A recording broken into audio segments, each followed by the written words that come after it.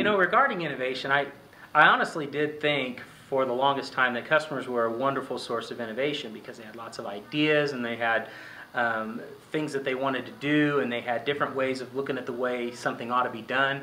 But, but really where I've where I seem to have arrived is that customers are a wonderful source of problems. And I, and I don't mean that in a bad way. I mean, they are really out there, really doing things that matter. And when they come to you with a problem, when you can distill it down to what the real problem is, that's the opportunity for innovation because that's the problem that you need to solve.